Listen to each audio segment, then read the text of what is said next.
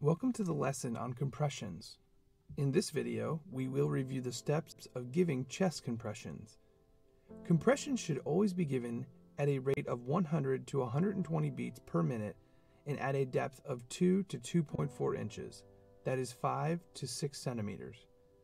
Compressing the chest slower than 100 beats per minute is less likely to provide enough circulation to the brain, heart, and other vital organs. And compressing faster than 120 beats per minute doesn't provide enough time for the heart to fill between each compression, which reduces the output as well.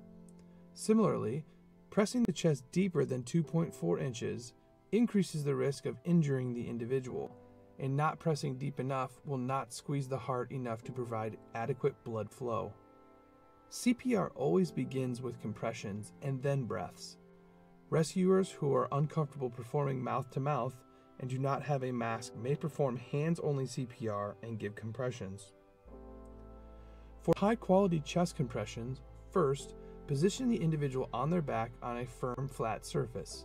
Then, remove or open up clothing at the neck and chest area. Feel for the end of the breastbone or the sternum. Place the heel of one hand on the lower half of the breastbone. Avoid pressing down on the very end of the breastbone as the bony tip, known as the xiphoid process, may break off and slash the liver, resulting in internal bleeding. Put the other hand on top of the first hand. Press straight down at a rate of 100 to 120 beats per minute and at a depth between 2 to 2.4 inches. Let the chest rise up completely be- between compressions.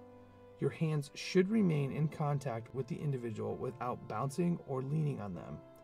Proper CPR can be tiring. Ask to switch positions when tired if another rescuer is available to help. This concludes our lesson on compressions. Next, we will review giving breaths.